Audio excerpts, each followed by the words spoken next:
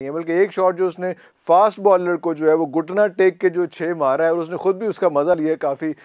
देर तक। और Bryan Lara इस तरह से करते हुए थे कि अपनी शॉट जो मार के ना वहीं पर रुक जाते होते थे, और ख़ुद देखते थे, मज़ा लेते थे उस शॉट का कि कहाँ तक गेंद जा रही जब तक गेंद बाउंड्री से बाहर नहीं जाती थी, वो उसी स्ट्रास में रहते थे। तो आज़म खान का भी कल वही नज़र आया कि उन्होंने भी जो है घुटना टेक के फास्ट बॉलर को जो है स्नैन को जो है, वो एक छः टिकाया है। इस किस्म का वो छः था कि वो पूरी के पूरा टूर्नामेंट इस वक्त एक साइड पे और वो एक शॉट जो है, वो गोरे हैं या पाकिस्तानी जो भी प्लेयर्स है, वो एक शॉट जो है, वो पूरे के पूरे अभी तक पी एस एल एट पर भारी है और मेरा नहीं ख्याल कि फास्ट बॉलर को इतना घुटना टेक के आगे भी किसी ने इतना कॉन्फिडेंटली इतने मज़े से मारना है। लेकिन बात ये कि आज़म को जब पहले बैटिंग करा दिया करो, उसके बाद साढ़ा भरा थक जाता है। हाँ जी तो अब आते हैं असल मुद्दे की तरफ़। इस्लामाबाद यूनाइटेड ने जो है सिक्सटी रन के साथ ये जो है मैच जीत गया है और कोयटा ग्लेडिएटर्स का आपको पता ही है कि वो जो है वन